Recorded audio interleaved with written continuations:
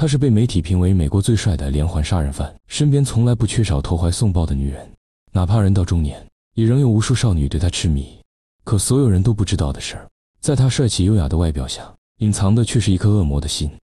所有爱过他的女人，没有一个能够活着离开他的身边。可由于此人的智商奇高，作案时从不会留下证据，因此警方根本拿他一点办法都没有，只能任由他一直逍遥法外。可就在这个时候，一位伟大的母亲站了出来。由于他的女儿也是死在该男子手中，所以在警方不能给他一个公道时，他选择了自主调查，是要用自己的余生为女儿报仇。最终，他用了整整三十二年的时间，终于将恶魔送进了监狱。而他的这段经历也被无数作家写成了传记，一直流传至今。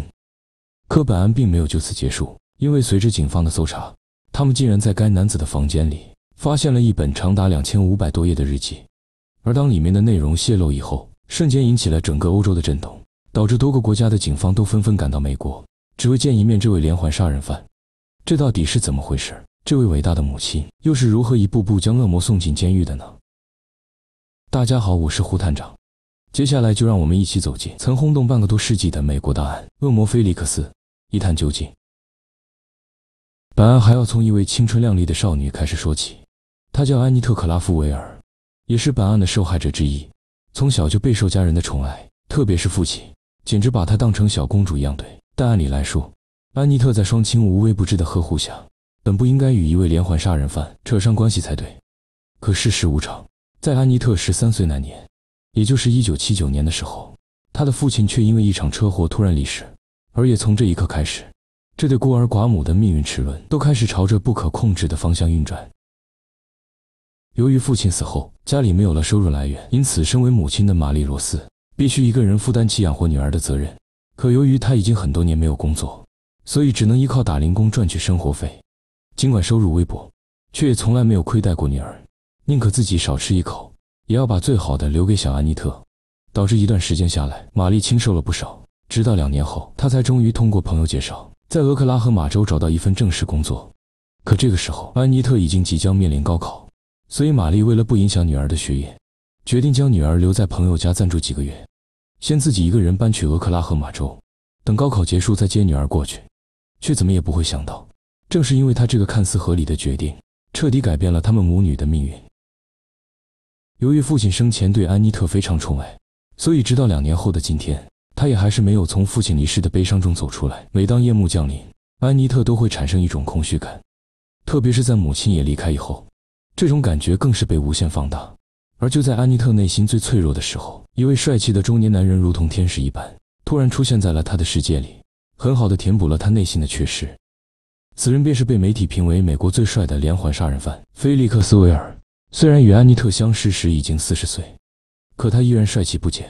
反而随着年龄的增长，平添了一份成熟男人的魅力。或许在其他少女的眼里，四十岁的菲利克斯已经有些老了。可对刚失去父亲的安妮特而言，菲利克斯的年龄反而成为了他的优势。再加上他本就对女孩很有一套，所以安妮特很快就彻底爱上了这个男人。哪怕他后来已经知道菲利克斯是一位居无定所的犯罪组织头目，他也还是义无反顾地选择了跟着对方，浪迹天涯。临走前只给母亲留下了一封信，而在信中，安妮特明确表达了对母亲抛弃自己的不满，并说这段时间她感觉自己就是一个孤儿。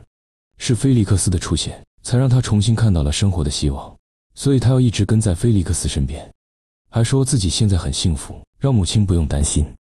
而看完这封信后，玛丽突然升起了一种莫名的心酸，这才意识到自己的离开竟然对女儿造成了这么大的心理伤害，于是非常自责，同时也开始担心起女儿的安全。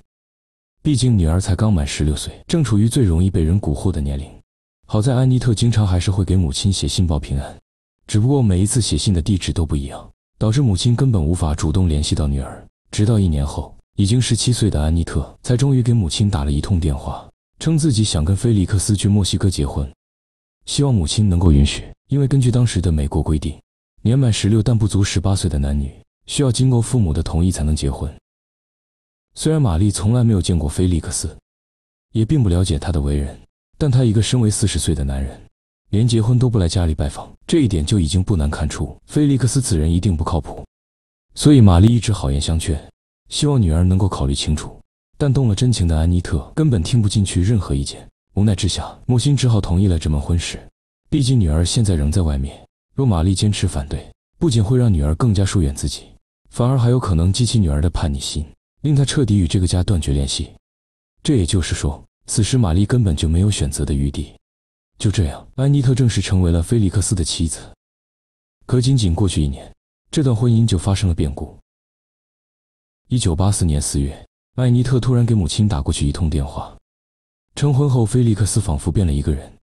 形容他简直就是一个野兽和变态的结合体，不仅表现出了极强的控制欲，而且还经常用一些特殊的方式折磨自己。可现在她又已经怀了丈夫的孩子，问母亲自己到底应该怎么办？尽管这些年安妮特对母亲的冷淡让人寒心，可真当女儿需要帮助的时候，身为母亲的玛丽还是毫不犹豫地站了出来，温柔地对女儿说：“如果你过得不开心，就回家，母亲可以跟你一起抚养你的孩子。”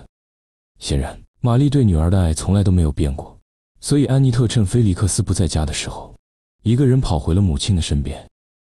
或许在很多时候，身为子女的我们很容易忽略父母对自己的好，可正当有难的时候，我们才会发现，这个世上只有父母才会无条件的接纳与帮助我们。而经历过这一次的事件之后，安妮特也已经深刻意识到了这一点。所以，当她投入母亲的怀抱时，她感觉到了从未有过的踏实。而且，玛丽自始至终都没有责怪过女儿一句，因为对一位母亲而言，能够再次跟女儿团聚，这就已经是一件非常幸福的事情了。可好景不长，一个月后，菲利克斯就追到了玛丽的家里，想要再次将安妮特带走。可有句老生常谈的话叫做“女子本弱，为母则刚”，玛丽绝不允许自己女儿再回去受苦，所以她用自己瘦小的身体一直挡在女儿的面前。可一个弱女子又岂是一位壮汉的对手？最终，菲利克斯还是强行将安妮特带走了，而这一别也成了他们母女的永别。起初，安妮特还是会经常给母亲打电话报平安。可几个月后，玛丽就再也没有接到过女儿的电话，甚至连一封信都没有收到。于是，连忙打电话向菲利克斯询问情况。当时，菲利克斯的回答是：安妮特几天前就已经逃走了，他也不知道安妮特现在去了哪里。事情发展至此，我们通过上的视角已经知道，这个时候的安妮特显然已经被菲利克斯杀害了，但玛丽却并不知情，也更没有往那个方向去想过。毕竟，在普通人的眼里，杀人这种事实在太不常见了。所以在听了菲利克斯的话后，玛丽还真以为女儿逃走了。之所以没有回家找她，应该是担心再次被菲利克斯找到而已。可渐渐的，玛丽开始意识到了事情的不对劲，因为已经整整过去了三年，女儿竟然还是音讯全无。于是当即跑到了警局进行报案。接到报案后，警方第一个调查的自然就是菲利克斯。可警方只是询问了几句话，就放弃了对他的调查。首先，警方根本没有任何证据能够证明就是菲利克斯杀害了安妮特。毕竟，截至到目前，安妮特是死是活都无法确定。别说对菲利克斯进行抓捕了，就是想要立案都是非常困难的事情。其次，菲利克斯是一位情商很高的人，在与警方交谈的时候，他一直表现得非常真诚。再加上他拥有一张人畜无害的脸，所以很轻易的就取得了警方的信任。而在失去了这条线索后，警方的调查几乎也就停滞了。毕竟，在没有找到尸体之前，这就只是一起失踪案而已。警方根本不可能在这上面浪费过多的资源，因此只是随便说了一句让玛丽回家等消息，就再也没有了下文。就这样，玛丽在家等啊等，等啊等。每当到了圣诞节、感恩节、新年等一些重要节日的时候，她都期待着能够突然接到女儿的电话。可每一次得到的永远都只有失望。而且这么多年来，玛丽给警方写了几百封信。也全部犹如石沉大海一般，从来没有引起过警方的重视。每一次都只是用那句“回家等消息”来打发玛丽。因此，在女儿失踪后的第七年，玛丽已经不再相信警方，决定自己去调查女儿的下落。于是，一段伟大的征程就此开始了。经过一段时间的调查，玛丽得知菲利克斯在娶安妮特之前，其实还有一任妻子，名叫玛丽伊丽莎白·维尔。由于她的名字与主人公玛丽的姓名相同，所以下面我将会称呼她为伊丽莎白。伊丽莎白与菲利克斯的婚姻关系一共维持了七年，并在此期间为菲利克斯生下了一个男婴，取名威廉·维尔。可在他生下孩子不久，也就是二十二岁的时候，他就因溺水身亡。起初，玛丽并没有察觉到这有什么不寻常，可当她前去伊丽莎白的家里拜访时，才得知他的死竟然另有蹊跷。据伊丽莎白的弟弟介绍。姐姐是在一九六零年认识的菲利克斯，当时伊丽莎白只有十五岁，几乎与安妮特认识菲利克斯的年龄一致，而且二人后来的经历也非常相似，都是先对菲利克斯爱得死去活来，然后又拼命的想要逃离菲利克斯的身边，可伊丽莎白也并没有成功，最终在一九六七年的一个夏天，也就是在安妮特失踪的十七年前，伊丽莎白被人发现溺死在了河里，而当时的报案人正是只有二十三岁的菲利克斯本人。他当时告诉警方说，他亲眼看到妻子在钓鱼时失足掉进了水里，并谎称自己本来是想去救人的，可由于他的水性不好没有成功，这才拨打了报警电话。可在警方赶到时，已经过去了三十分钟。当他们将伊丽莎白从河里救出来时，她早已没有了生命体征，并在看清尸体的容貌后，当即断定伊丽莎白绝非菲利克斯所说的那样属于失足溺水，因为伊丽莎白的脑后有明显被钝器击打过的创伤。而且脖子上也有一道明显的勒痕，显然应该是被人杀害才对。再加上这条河几乎很少有人来，所以警方当即将菲利克斯当成了第一嫌疑人，并抓回了警局。若按照正常的流程走下去，菲利克斯有很大的可能会被判处罪名成立，接下来也就不会再有那么多的受害者了。可遗憾的是，就在这时，一个让所有人都意想不到的变故发生了。在案件发生的一周后，法医的尸检报告出来了。而给出的鉴定结果竟然是伊丽莎白的死亡原因就是意外溺水，而这份检测报告一出，无疑完全证明了菲利克斯的清白。于是警方纵然有无尽的怀疑，最终也只能选择将菲利克斯释放。要知道，在八十年代的时候，法医可是非常稀缺的职业，懂的人可以说是少之又少，这也就导致了法医在当时非常具有权威性。因此，警方办案时几乎都是完全听从法医的意见。可伊丽莎白的家人可不相信什么科学检测，直到现在，他们都始终坚信菲利克斯一定就是凶手。所以这么多年来，这一家人一直非常憎恨菲利克斯。而案件调查至此，玛丽也已经不得不承认，女儿可能也早已死在菲利克斯的手里。可身为一名母亲，在女儿的尸体没有找到之前，她实在不愿意相信这个事实。但很快，她就连欺骗自己的机会都被剥夺了，因为随着调查的深入。玛丽又找到一位曾与菲利克斯交往过的女孩，她叫莎朗·亨斯利，与菲利克斯是在1975年相识，而他的经历就可以说是几乎与安妮特一模一样了，都是先对菲利克斯爱得死去活来，后来开始拼命的想要逃走，可遗憾的是，他也同样失败了。据沙朗的父母介绍，在女儿与菲利克斯交往的三年后，沙朗突然给家里打了一通电话，称自己要去南美生活，让父母不要担心。可身为父母，一下就听出了这番话并非沙朗本意，猜测当时菲利克斯一定就在身边，是他逼迫沙朗说的这些话。而之后，沙朗就跟安妮特一样，仿佛人间蒸发一样，再也没有了音讯。至此，玛丽再也没有了自我欺骗的理由，因为种种迹象都表明，安妮特之所以会这么多年都音讯全无，一定就是被菲利克斯杀害了。这一刻，玛丽的内心产生了无比的自责感。自责当年不应该留下女儿一个人生活，自责没有与菲利克斯抗争到底，感觉就是自己害死了女儿。或许也正因为如此，玛丽并没有选择像伊丽莎白和沙朗的家人一样坐以待毙，而是在心底默默发誓，一定要让菲利克斯付出代价，至少也要找到女儿的遗体，让她入土为安。可玛丽毕竟只是一位普通女子，实在想不到应该从何查起，于是她思来想去，觉得只有一个人或许能够帮她。还记得我之前就有提过。伊丽莎白曾给菲利克斯生下过一名男婴吗？他叫威廉·威尔。据玛丽调查，威廉曾在父亲菲利克斯的身边待过整整八年的时间，想来他一定知道一些有关父亲的事情。所以，玛丽立即马不停蹄地找到了威廉，希望能从他这里得到一些破案的线索。初次见面，威廉表现得非常友善，可当玛丽说明来意后，他却突然面露为难之色，犹豫了很久才说道：“虽然他确实很坏，但他毕竟是我的父亲。”我实在做不到亲手将他送进监狱，而且我也真的不敢。说完，威廉的眼神中又流露出了一抹恐惧之色，然后语重心长地说了一句：“我父亲，他就是一个疯子。我劝您还是不要去招惹他为好。”虽然威廉并没有说出什么具体的事情，但从他略微颤抖的声音中，我们不难听出，当年菲利克斯一定做过很多让他难忘的事情，否则不可能这么多年过去后，他还会对父亲如此的恐惧。显然，威廉是不可能向玛丽透露任何事情的。但我们还真不好去责怪威廉，毕竟不是每一个人都能克服童年的阴影，更是很难有人能够真正做到大义灭亲。可威廉有威廉的坚持，玛丽也有她身为母亲的一份坚持，所以在接下来的几年时间里，她经常会来找威廉，希望他能够改变主意，而威廉也从来没有将她拒之门外，因为威廉并非铁石心肠的人，他能够理解玛丽的心情，甚至对玛丽的这份坚持非常敬佩。只可惜他始终过不了自己心里这一关。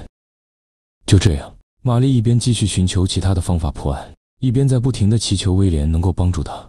日复一日，年复一年。直到安妮特失踪的第二十五年，威廉因患上了癌症，命不久矣。临死前，他终于决定帮助玛丽破案。据他所说，他在父亲身边的那几年，曾庆尔听到父亲说过，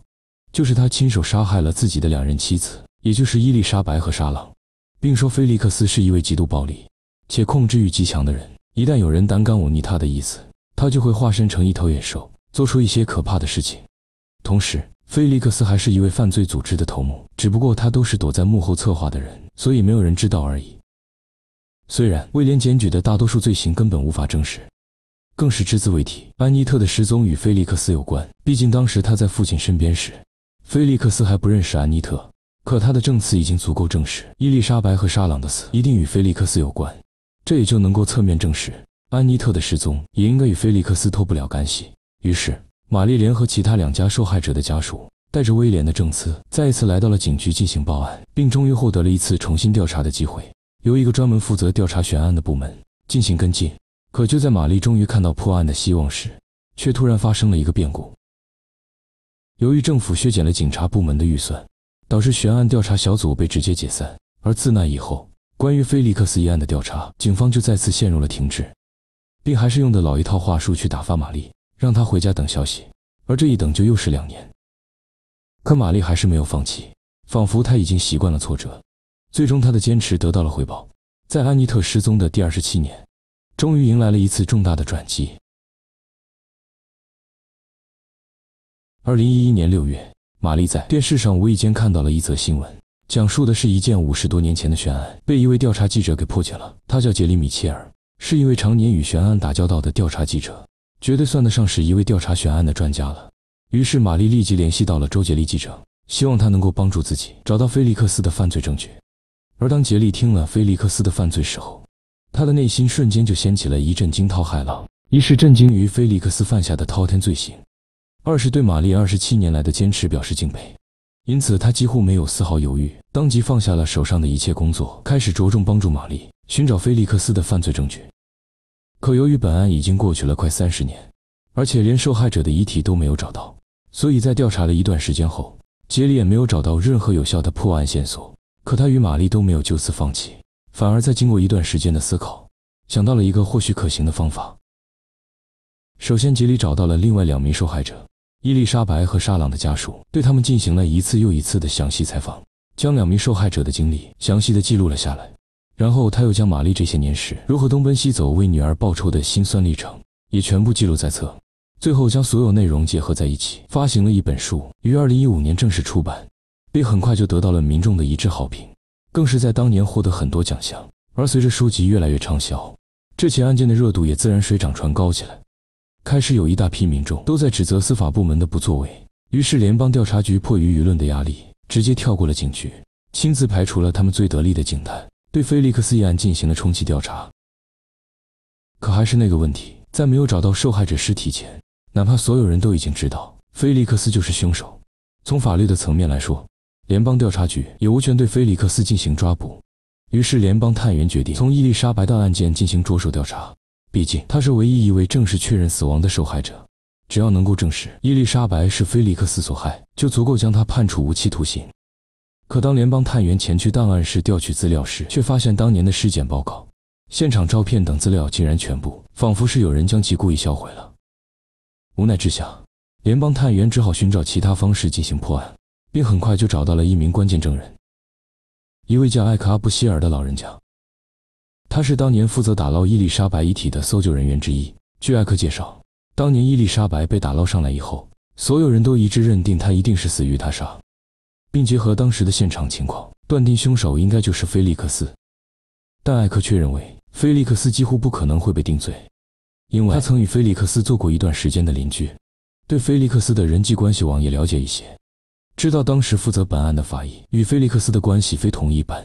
所以法医一定会帮菲利克斯摆脱罪名。可他身为一个普通百姓，又不敢明说，所以艾克只是偷偷拍了两张伊丽莎白的遗体照片，保存了下来，想着未来可能会给这起案件留下一丝转机。说完，已经九十岁的艾克颤颤巍巍地指着床底下的一个箱子，说：“当年的照片就在那里。”而联邦警员得到照片以后，立即就将菲利克斯抓回了警局。至于难为不良法医，由于当年就已经离世，则无法再对他进行制裁。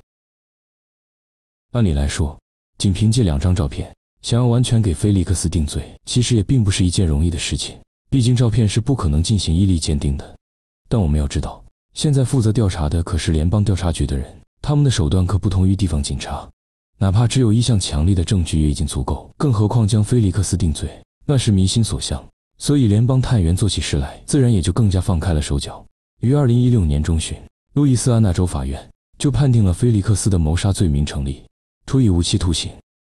可本案还远远没有结束，因为警方在搜查菲利克斯家里的时候，竟发现了一本长达两千五百多页的日记，或者称它是一本邪恶的实验笔记，则更为贴切。而实验对象则几乎全部都是年轻女子。初步估算，除了已知的三名受害者以外，至少还存在五名以上的受害者。犯罪的地点遍布美国、墨西哥、加拿大以及欧洲等多个国家。因此，日记的内容在被其他国家的警方知道以后，也都派人纷纷赶到了美国，对菲利克斯进行了审问。可由于菲利克斯非常谨慎，日记中并没有使用受害者的真实姓名，所以调查起来非常困难。好不容易确定了其中几名受害者的身份。却由于一直没有找到受害者的遗体，也根本无法将菲利克斯定罪。最终得出的结果是，在所有的受害者中，只有菲利克斯的第一任妻子伊丽莎白找到了尸体，因为这是菲利克斯第一次犯案，没有经验。而之后他就再也没有让警方找到过受害者的遗体，几乎全部都是成为了失踪人口。无法想象，如果菲利克斯年轻时不是那么自以为是，没有选择主动报案，那么他会不会就真的永远的逍遥法外了呢？事后，所有的受害者家属都拜访了菲利克斯，希望他能够说出受害者的遗体所在，以便让自己的孩子入土为安。可他却根本无动于衷，哪怕所有受害者家属一起放低姿态去求他，他也始终是一副漠不关心的姿态，不肯相告。要知道，费利克斯当时已经七十多岁了，就算被判死刑，也是不可能执行的。说与不说，他的下场其实都只有一个，就是死在监狱。可他在如此情况下，却还是不肯说出来。可想而知，他的内心是有多么的凉薄，甚至说他是毫无人性也绝不为过。这也就是说，玛丽苦苦坚持了三十二年的时间，却依然没有找回女儿的遗体。虽说菲利克斯最终受到了法律的制裁，但我们要知道，菲利克斯可是在五十年前就犯下了第一起凶杀案。这也就是说，他是在逍遥法外了五十年后才受到的法律制裁。如今，菲利克斯已经七十多岁了，早已步入生命的暮年。哪怕是终身监禁，这样的惩罚又有什么意义呢？更别说这五十年来，他还在持续的犯案，残害了那么多的无辜生命。因此，在一些媒体口中，将这种惩罚比喻成了养老。